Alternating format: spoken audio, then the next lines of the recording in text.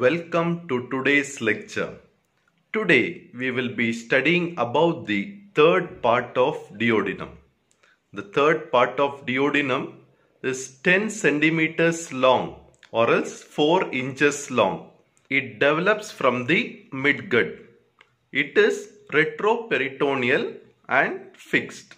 Its anterior surface is entirely covered by the peritoneum except in the median plane where there is superior mesenteric vessels and also the root of mesentery. So here what you can see, so this is the third part of duodenum.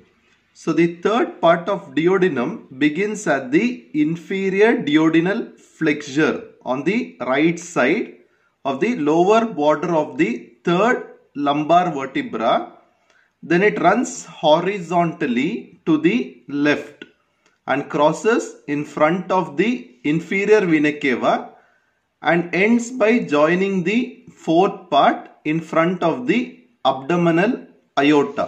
So in this picture what you can see this is the portal vein, this is a splenic vein, superior mesenteric vein, this is a superior mesenteric artery, then this is the root of mesentery, then this is the third part of duodenum.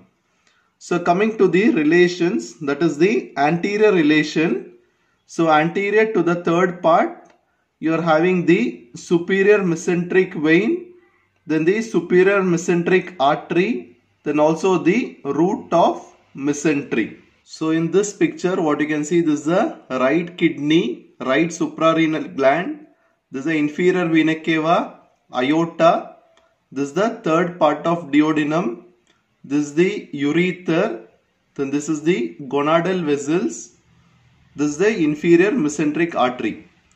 So coming to the posterior relation. So this picture is shown to show the posterior relation of the third part of duodenum. You are having the right psoas major muscle. So this is the right psoas major muscle. Then you are having the right ureter. So this is the right ureter. Then you're having inferior vena cava. So this is the inferior vena cava.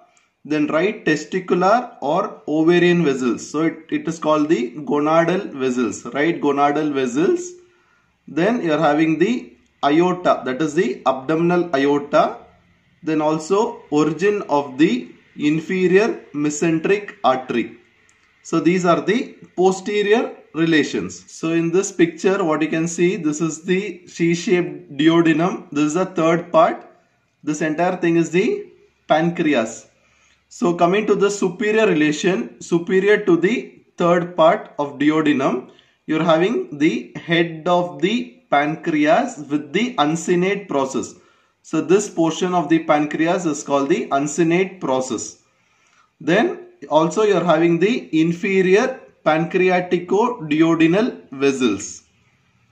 Then inferior relation if you see there will be the presence of coils of jejunum which you're not able to see in this picture. Coming to clinical importance, the third part of duodenum is most vulnerable to the external injury because it may be compressed within the vertebral column when there is any violence on the anterior abdominal wall. Secondly, you are having duodenal stasis, STA-SIS. The third part of duodenum is present in between the superior mesenteric artery and the abdominal aorta. The superior mesenteric artery is present anterior to it and abdominal aorta is present posterior to it. Due to the compression of these arteries, it can lead to duodenal stasis. Thank you for watching.